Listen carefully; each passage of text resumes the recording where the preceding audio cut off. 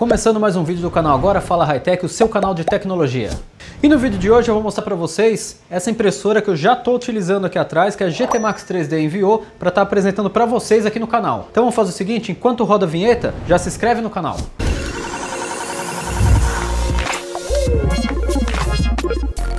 Então é isso aí galera, agora que vocês já se inscreveram no canal, eu vou apresentar para vocês essa impressora que é a Core A3 V2. Essa impressora é fantástica, eu já estou fazendo teste com ela. Eu vou fazer o seguinte, eu vou mudar a câmera agora para mostrar um pouquinho mais de perto e falar um pouquinho dessa impressora para vocês. Então, bora mudar a câmera. Então é isso aí, pessoal. Agora a câmera já está posicionada. Vamos falar um pouquinho dessa impressora. Essa daqui é uma Core A3V2, tá? Eles enviaram essa impressora para estar tá fazendo os testes e apresentar para vocês aqui no canal. Queria agradecer a GT Max por ter enviado essa impressora. E tem um detalhe, esse modelo aqui, esse aqui em específico, tá? Eles me enviaram já com os drivers TMC2208, que são aqueles drivers silenciosos. Então a impressora está imprimindo aqui e o único barulho que se ouve é de vez em quando a movimentação do carro ali, mas coisa mínima comparado com ela sem esses drivers, tá? Então é bem legal utilizar esses drivers na impressora. Por sinal, a GT Max também mandou uns drivers para estar tá atualizando a Core A1V2 que eu tenho. Eu vou fazer um outro vídeo depois mostrando como que você faz essa atualização dos drives. Aí eu vou ensinar passo a passo como vocês fazem essa atualização. Mas vamos falar dessa Core A3V2 agora. Essa impressora tem uma área de impressão de 300 300 por 300, ou seja, são 30 centímetros de X, 30 centímetros de Y e 30 centímetros de altura. Então é bem legal a área de impressão dela. Fora que ela suporta velocidade de impressão de até 180 mm por segundo, então ela é bem rápida para fazer a impressão e ela trabalha com o sistema Core XY. Ela conta também com uma mesa aquecida e com um tampo de vidro, então caso danifique esse vidro, você pode tirar, colocar outro sem problema nenhum, tá? A velocidade de deslocamento dela é de 400 mm por segundo, ou seja, ela está nesse ponto fazendo a impressão, ela tem que ir para esse ponto ela consegue em até 400 milímetros por segundo fazer essa mudança desse ponto para esse. Então é bem legal isso daí, ou seja, a sua impressão acaba saindo, saindo mais rápido, né? Um outro detalhe é que essa daqui é uma das impressoras mais vendidas deles, tá? Então, olhando para ela, eu posso falar, assim, na minha opinião, eu achei ela mais bonita que as outras, os outros modelos. Não que os outros modelos sejam feios, mas eu achei muito legal essa tampa aqui, ó. Esse acrílico cast que eles têm aqui, né? Então essa tampa, você pode abrir essa tampa inteira, né? Para estar tá vendo a sua impressão, mexendo na impressão aqui. E você pode baixar essa tampa sem problema nenhum. E aqui vem escrito, depois eu vou mudar a câmera de novo e colocar mais de perto para vocês verem. Mas ela vem com o LCD aqui em cima, né? Então é num ângulo legal para você mexer. Tem essa, esse tampo de acrílico que você não precisa só tirar, você só levanta ele para estar tá vendo a impressora. E ela conta também com essa outra tampa aqui na frente, né? Assim como os outros modelos H5 e a Core A1 V2 que eu tenho aqui no lado, depois eu posso fazer até um comparativo para vocês, que é bem interessante, ó. Então ela conta com essa tampa que você pode deixar aberta. Eu estou imprimindo agora com PLA, que eles enviaram, um PLA preto bem bacana, que eu estou imprimindo um busto do Batman, mas eu vou mostrar no outro vídeo para vocês, quando eu for fazer a atualização da Core A1 V2. Mas vamos lá. Então achei bem legal isso daqui, fora que o material é sempre um ótimo acabamento deles, né? Tá aqui, ó, aço carbono com pintura eletrostática, fantástico. Detalhe dos acabamentos, ó, as juntas, tudo certinho, bonitinho, ó. Você pode observar que é tudo bem detalhado. Eu vou fazer o seguinte, eu estou falando dela aqui, mas eu vou mudar a câmera e vou mostrar mais de perto e vou falando, enquanto eu vou mostrando, o que, que ela tem de interessante nessa impressora. Então vamos fazer o seguinte, bora mudar a câmera de novo. Então vamos lá, pessoal. Agora com a câmera já posicionada, mostrar melhor e falar um pouquinho mais sobre ela, mais de perto assim, para vocês verem como que é essa impressora, que é bem legal. Então tá aqui, ó. Ela tem aqui no acrílico escrito GT Max 3D Core A3 V2. Tá aqui, ó, o modelo dela. Aqui nesse lado, ela tem o painel que vai mostrando a impressão dela aí, quanto que já foi, né? Tem até essa barrinha que aparece, é bem legal. E esse tampo de acrílico você pode levantar ele. Então, ó, você levanta esse tampo. Aí olha que legal, ó. Você levanta o tampo, ó. Você tem como ver a impressão certinho como está sendo feita. E olha o acabamento deles. Olha o cuidado que eles têm, ó.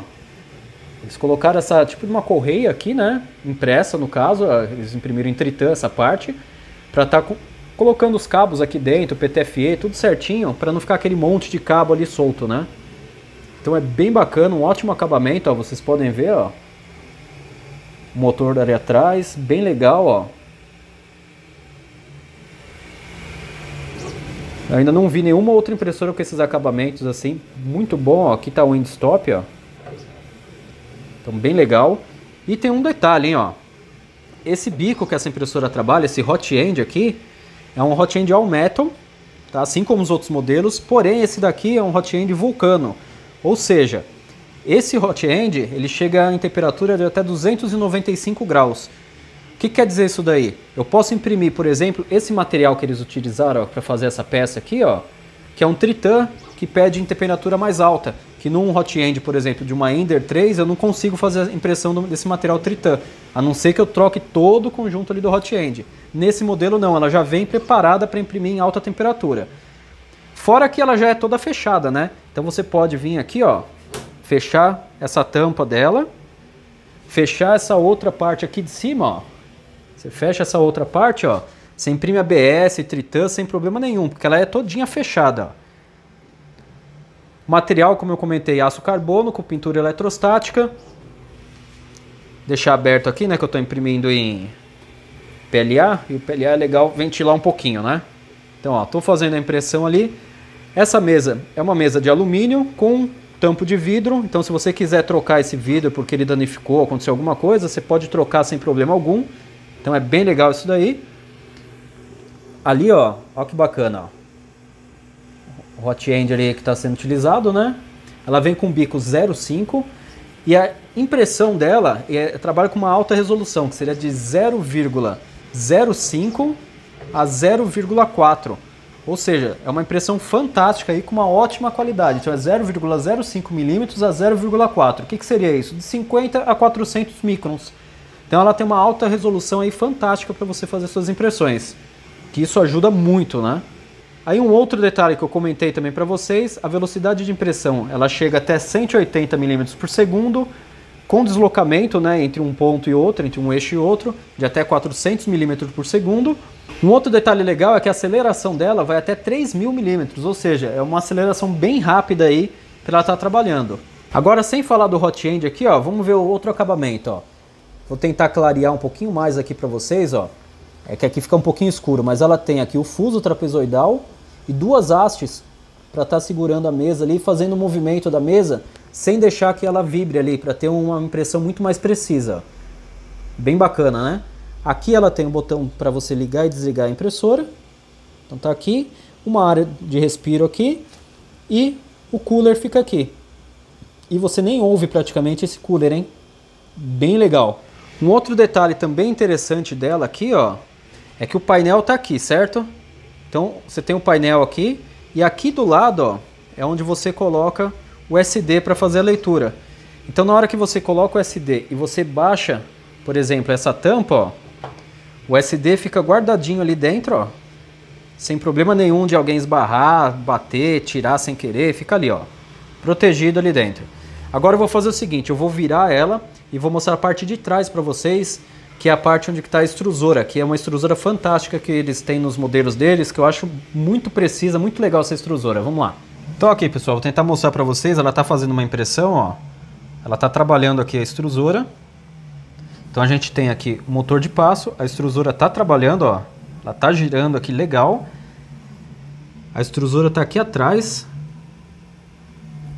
Então a gente pode ver que aqui está a extrusora, né? Aqui a gente coloca o carretel. Então está aqui. Aqui embaixo nós temos o que?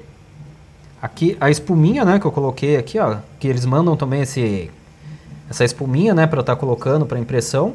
E aqui a gente tem junto na extrusora o sensor de fim de filamento.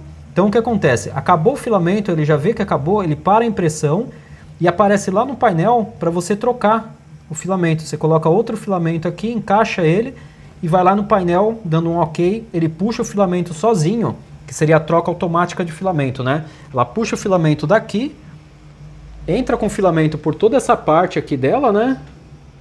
Não sei se dá para vocês verem aqui, ó, vem toda essa parte dela até chegar ali no hot end. Deixa eu escurecer um pouco a tela aqui, ó, para vocês, ó. Então tá aqui, ó. Ela vem aqui com o filamento, passa por essa parte, entra no hot end e já faz a purga dele. Então ela faz a troca de filamento automático. Então tá aqui, ó. Ela tem esse sensor, né? que fica aqui atrás, né? Fica aqui nessa parte Então ela faz a troca do filamento automático e ela tem o sensor de fim de filamento. Ou seja, acabou o filamento, ela não vai ficar imprimindo no ar. Ela vai parar enquanto você não colocar outro carretel, ela não volta a impressão. Então isso é bem legal, ajuda bastante aí nas impressões. Então é isso aí, galera. Essa aqui é a Core A3 V2. Esse vídeo foi para mostrar um pouquinho da impressora para vocês. Ao longo dos outros vídeos eu vou trazendo mais conteúdo dessa impressora, mostrando mais impressões feitas nela. Lembrando que essa impressora ela é campeã de vendas das nacionais, ela é a mais vendida do Brasil. Então não é uma impressora qualquer, é uma impressora muito boa mesmo. Ela tem uma qualidade de impressão muito boa, como eu falei para vocês, de 0,05 mm a 0,4. Então é bem legal a qualidade de impressão dela. E para você que procura uma área de impressão maior aí, tá aí ó, 300, 300 por 300. É uma área de impressão muito legal para você imprimir. Ela não é nem muito grande e nem muito pequena, é ideal aí para você fazer as suas impressões sem problema nenhum. Então é isso aí, pessoal. Espero que vocês tenham gostado do vídeo. Se você gostou do vídeo, deixa aquele seu like, compartilha o vídeo. Se você não gostou, pode dar dislike, não tem problema, mas comenta o que, que você não gostou para estar tá melhorando para os próximos vídeos. E ao longo dos outros vídeos, eu vou trazendo mais impressões feitas nela para mostrar para vocês. Ó, mas já se inscrevam no canal, porque no próximo vídeo eu vou mostrar para vocês como que vocês vão fazer a atualização dos drives do TMC 2208 no modelo Core A1 V2. Então, ó, não se esqueçam, hein, ó. Já se inscreve no canal que logo mais vai ter conteúdo novo mostrando como que vocês atualizam os drives silenciosos do, da Core A1 V2. Então, até a próxima, galera. Valeu!